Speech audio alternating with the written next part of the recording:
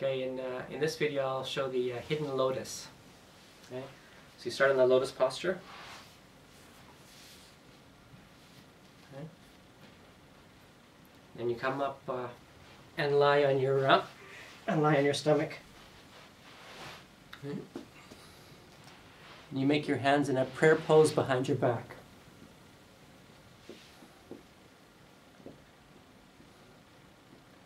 I'll show you from the, the side as well. Okay.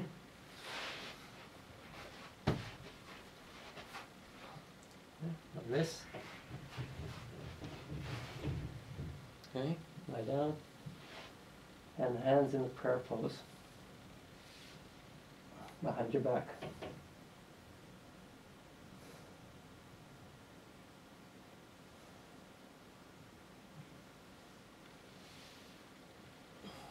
Okay.